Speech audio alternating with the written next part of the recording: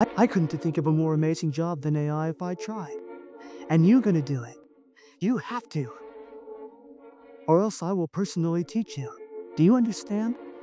So, you probably know what's coming. It's going to be a lot of fun today. First, check out the showcase, and then we'll dive into the latest free WAN 2.2 workflows. Yes, free workflows. You can run them locally in Comfy UI on your own machine, or if your PC is a bit weak, no worries. You can run them on the web instead. And don't worry if Comfy UI seems intimidating. Everyone will be able to handle it today.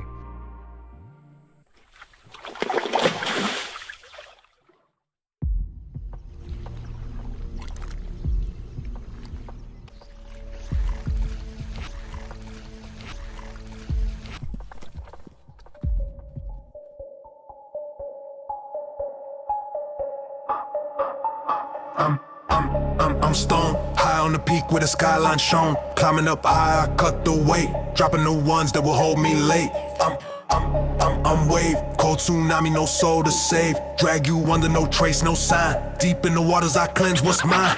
It's never simple, it's a thousand layers deep. Your attempts are kind of noble, but restart, don't fall asleep. Just still chasing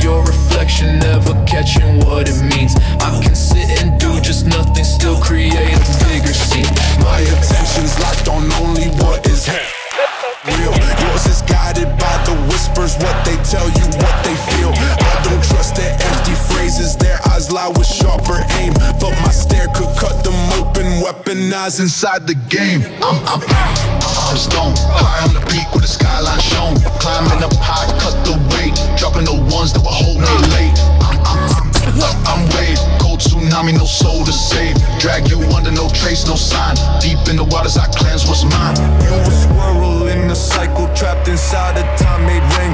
I got must Slows my lightning thing. Still, you feed on others' wishes, dance to orders, wear the chain. I just name you what you're showing. Working title, slave by name. Even drained of every ounce, I keep pushing, still I grind. Wonder why I'm calming storms.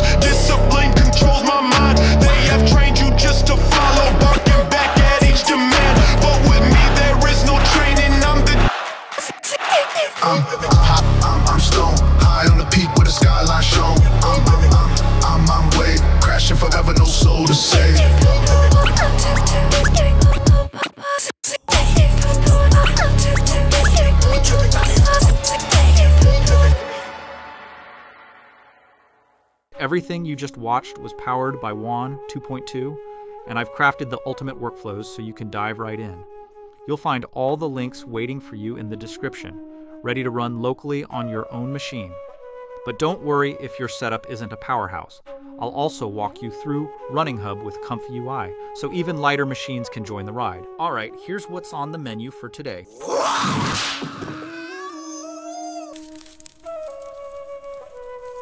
As I mentioned earlier, I'll be using Cloud Comfy UI since I'm working on a Mac, and it doesn't have enough power to handle WAN 2.2.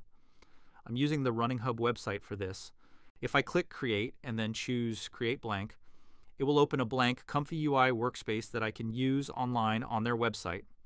There are a lot of workflows available, and the first one we'll start with is voice cloning, since I'm sure you're curious about how I replicated Nicolas Cage and changed the lip sync at the beginning. If you click on Launch on Cloud, that means the author is okay with sharing the nodes. From there, you can go inside and download the JSON file, which contains all the nodes, and then run it locally on your own machine. Awesome. But if you don't want to deal with the nodes, a lot of authors make apps that are much easier to use. So I'll go to the app for this workflow. First, upload the audio here. I couldn't think of a more horrible job if I wanted to. Choose 0 if you want to use the audio file. Choose 1 if you want to take the voice directly from the video. In my case, it's 0. Then just type your text and click Run. You'll see the progress right here. You'll see two versions. Just choose the one you like best and click Download. Now you're ready to use it in your video. The first workflow is to use an image and bring it to life with audio. Drop your face image into this node. You can also drag and drop it. Upload the audio you just generated and set the dimensions to match your input, according to instructions below.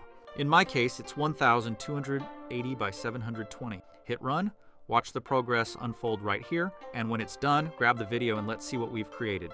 I couldn't think of a more amazing job than AI if I tried. And you're gonna do it. You have to. As you can see, it's not just the lip sync, the right gestures and emotions have also been brought to life in the video. Now let's jump into the video to video approach. I'm going to use this clip to layer lip sync over the original video, and I think Bruce Lee's voice will be the perfect match for it. Empty your mind, be formless, shapeless, like water. All right, here's the workflow on Running Hub. Switch the input to one so it grabs the video. That's what we'll be syncing. Forget about the image, just leave it. Now upload your video into this node, add the audio on top, hit run, and watch as the lip sync comes to life. Once it's done, we'll check out the result together. Empty your mind, be formless, shapeless, like water. Here's the workflow where images can be brought to life by video.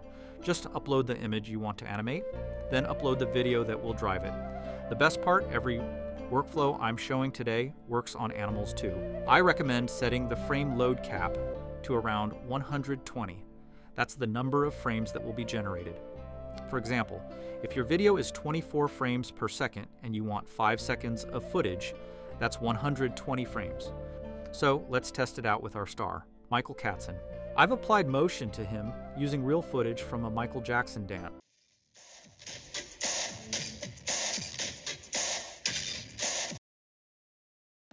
Awesome. Now let's jump into the video to video approach where we'll be replacing the entire character in the scene.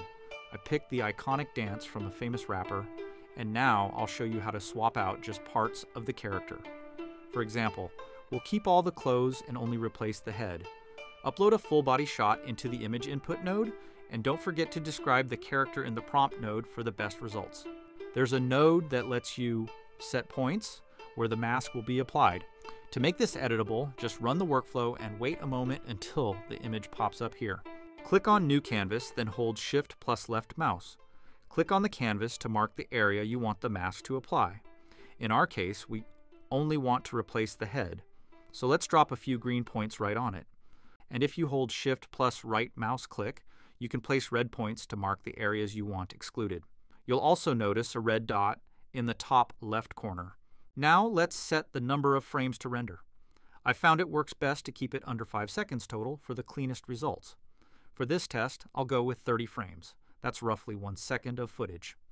Click Run, wait a little, and we're ready to check the result. Awesome. The head is replaced and everything else stays the same. Now if you want to replace the entire character, you already know the drill. Clear the canvas, add green points across the body, and hit Run again.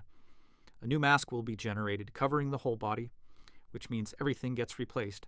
Then you can check out the transformation. As you can see, the character has been replaced flawlessly. The great thing is, you're not limited to swapping characters. You can also change elements within the scene. For example, here I've changed the pattern on the horse, and it applied seamlessly. With the same approach, you can transform backgrounds and much more. The only limit here is your imagination. I also want to point out that you can find any workflow by clicking on Workflows and simply searching for what you need. For example, I needed to extend the video borders. Our horse video was vertical, but I wanted a horizontal version. So I just typed extend video and found this one. The beauty here is that you can use these workflows almost like pre-made apps, powered by simple AI. Just upload your video, set the number of frames to render, and remember, less usually gives better results, then hit run. Let's see what we've got. Amazing. It perfectly changed the pattern on the horse and blended naturally with the lighting and environment. Now we're ready to move on to the upscale techniques. Let's jump to other workflow, which is also good in many cases when you found some reference video but want to wash out the faces and some elements. They're in painting workflow that will change your video by in painting it completely but will remain the structure. Let's apply it to some blurry video.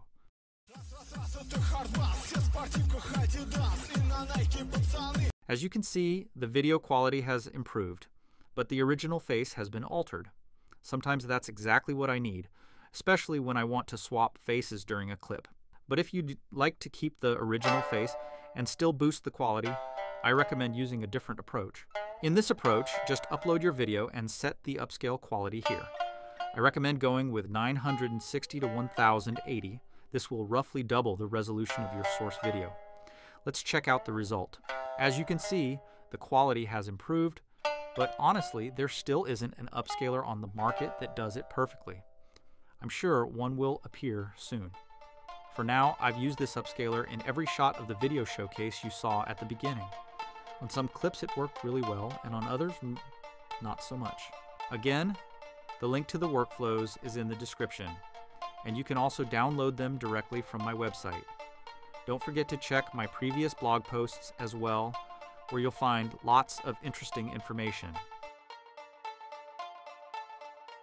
If you're using a weak machine, just create a blank workflow on Running Hub, drag and drop the JSON file, and you're ready to generate.